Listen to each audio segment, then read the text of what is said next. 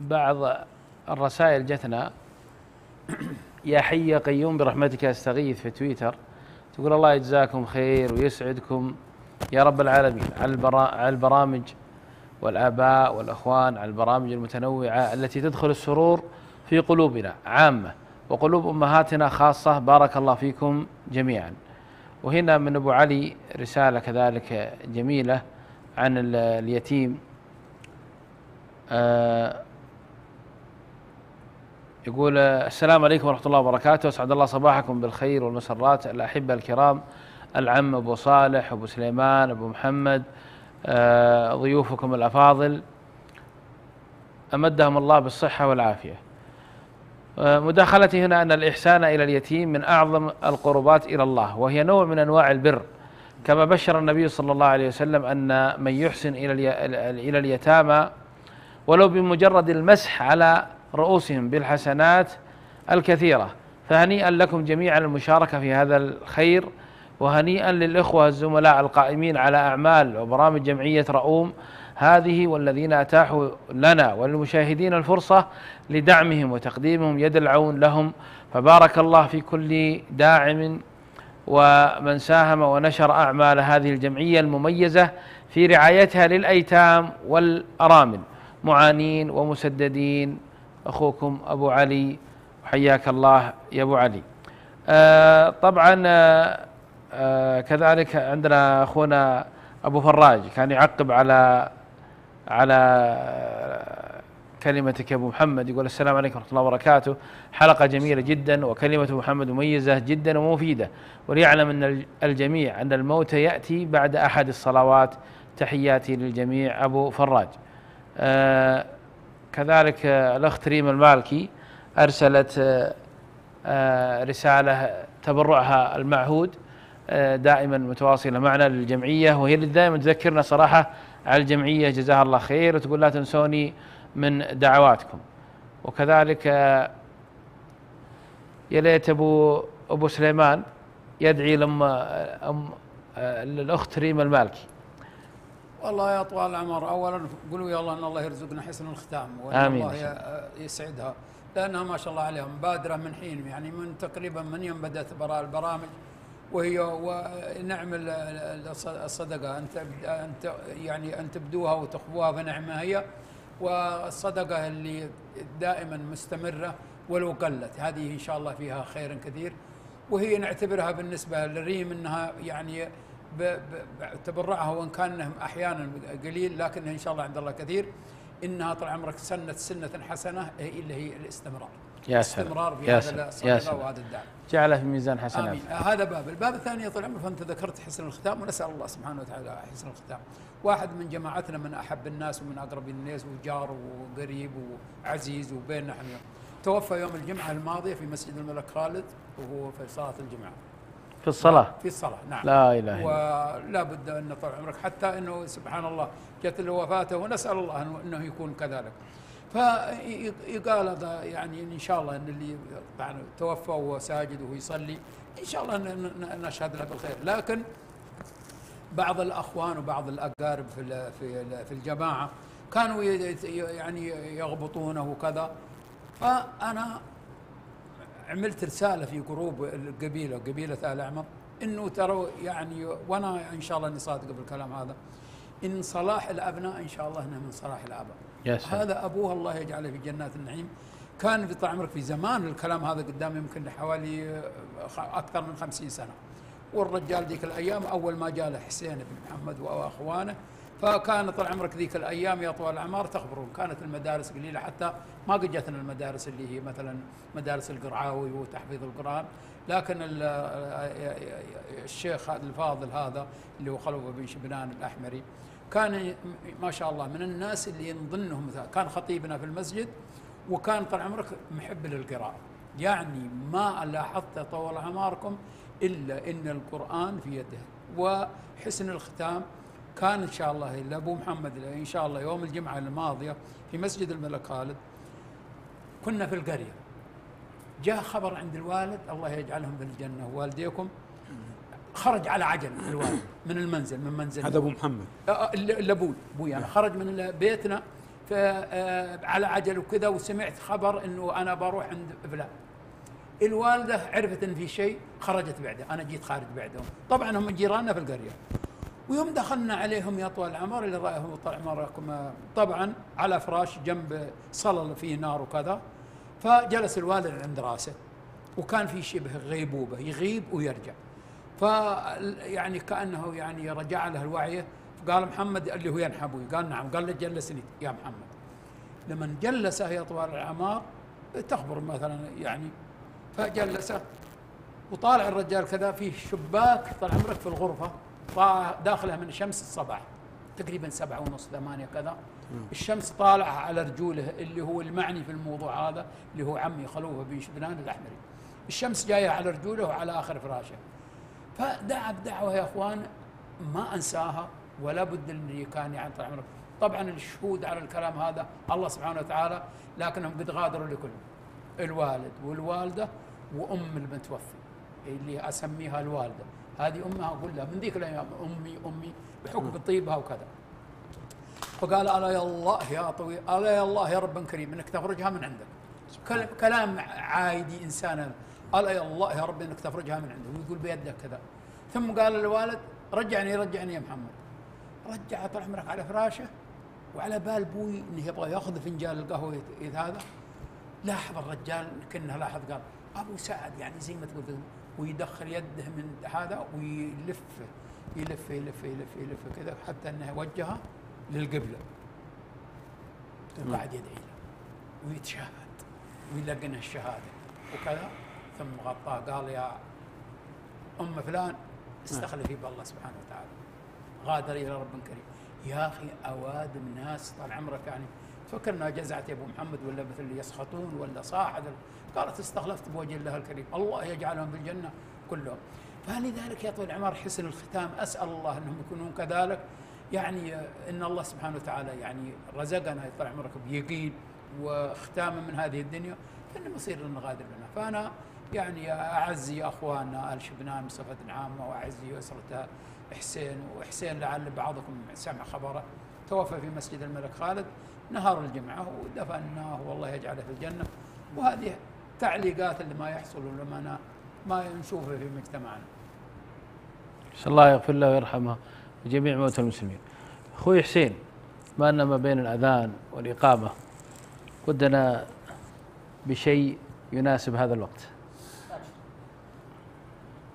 الله إذا حب عبد من العباد ابتلاه. يا سلام. تطهير والعمر لو طول تراهم حسوب. الله أكبر وفواجع أيامنا ومنغصات الحياة الله جعلها تكفر مهلكات الذنوب. يالله يا الله- عالم. حسين ليتك تعيدها أبشر. الله إذا حب عبد من العباد ابتلاه. يا سلام. تطهير والعمر لو طول تراهم حسوب. وفواجع أيامنا ومنغصات الحياة الله جعلها تكفر مهلكات الذنوب. يا الله يا عالم قلبي وماذا حواه؟ يلي بفضلك من الغفلة تفيق القلوب أسألك يا من جعلت الصبر طوق النجاة على الفتن والمصايب والبلا والكروب. تمدني بالصبر والقلب تصلح هواه. وأسألك عفوك من تعفو عن اللي يتوب. وأسألك سبل الهداية قبل يوم الوفاة. ما أدري متى شمس عمري يحتضنها الغروب. يا سلام. سلامة يا سلام. الله بيض ما شاء الله ما شاء الله. يعطيكم يسلمك أبيات مميزة وفي محلها و... الله يسعدك. طاغية كانت ما شاء كانت الله. في الوقت المناسب فيه فعلا يا. سلام يا سلام يا سلام. الله يتقبل منهم. الله يسعدك يا أبو كايد. آمين وياكم يا رب. أبو محمد سم الله عدوك. تو الرسالة اللي عن اليتيم وفضل اليتيم والمسح على شعر اليتيم.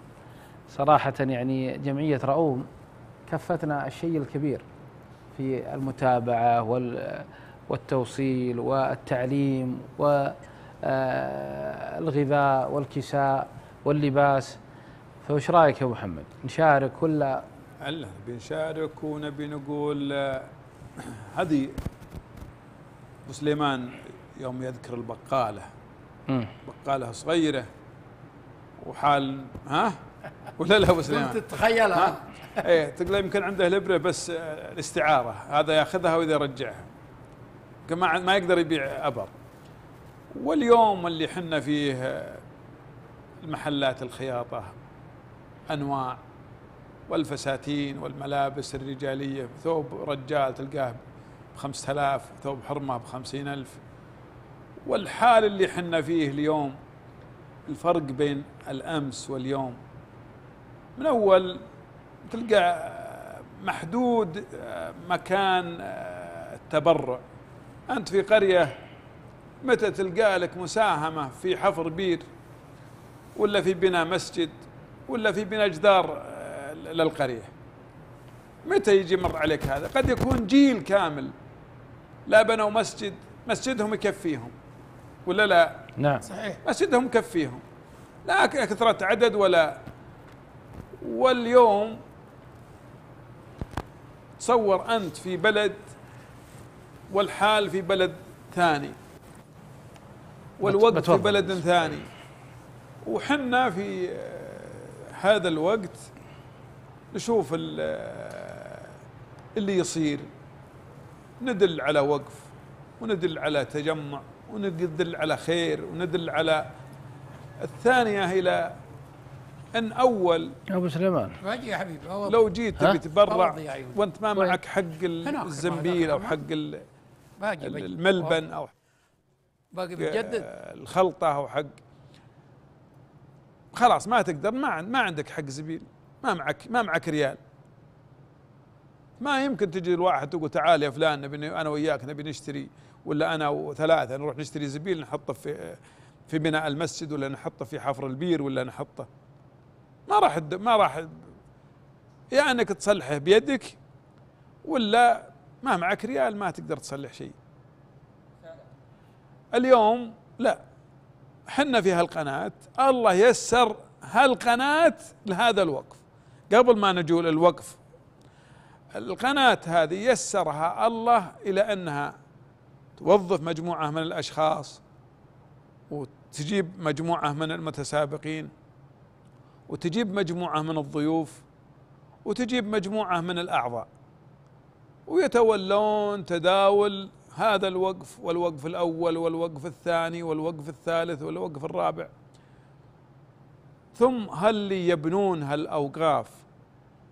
ما تعبوا في أنهم جو واشتغلوا بيديهم ولا إنما مصروف من جيبك حطيته وساهمت به. تيسرت الأمور من حيث التبرع من البنك. شلون ترسل فلوسك من البنك للبنك. ما شلت ولا طلعت ولا ركبت سيارك ولا جيت. نعم عظيم وتيسير. وتيسير ثم الثانية بعد ما إن حنا خلاص آه شوف اللي القناة كيف هيأها الله لنا إنها تتولى أمر هالاوقاف والثانية البنوك كيف هيأها الله سبحانه وتعالى إنها تكون سهلة تنقل ريالك من بنك إلى بنك أو من حساب إلى حساب. ثم بعد ما أنه اكتمل الوقف والوقف الثاني والوقف اللي قبله واللي بعده واللي يبقى وش يتعبك أنت؟ اكتمل المبلغ أو ما اكتمل المبلغ. ومالك دخل في يعني شروا سددوا فاتورة الكهرب فاتورة الماء من بنى صيانة متابعة محاسب في تبرعك لو هو بريال أو بألف ريال أو أكثر. ما تعبت ولا لا تحاسبهم ولا تقول جاي فيها محاسب وجاي فيها مدقق وجاي فيها مصروفات. ما بعد وصلنا عاد لمن؟ لمن وصلت؟ ثم وصلت من؟ وصلت يتيم. اليتيم هذا بس يتيم. ترى الغني يتيم. غني وارث من أبوه ملايين. يتيم. لكنه غني. ويوجد في اليتيم فقير ومسكين. وإذا كان له أم صارت أرملة. فهذه كلهم إذا من إذا منهم تبرعوا أصحاب الوقف لهذا اليتيم خدموا الأرملة اللي هي أمه. الأم الأرملة ما لها عمر. لو أنها يطويل العمر عمرها عشرين. ومات رجلها ومعها ولد ولا بنت صارت أم يتيم وأرملة لو أنها صغيرة. ولو جت الحرمة أم عشرين أو أم ثلاثين اللي مات عنها زوجها وصارت أرملة وعندها ولد أبو سنة وسنتين وثلاث إلين وصل ال 15 وعمرها صار 45 أو صار 50 ما تزال أرملة وتستمر أرملة ولا منها حتى يكتب عليها في في بطاقتها وكذا أو تكتب حالتها أرملة. وهذه الأرملة اللي يحق لها الصدقة. أرملة مسكينة لا تروح ولا تجي ولا عندها. قد تكون أرملة غنية لكنها تبقى أرملة.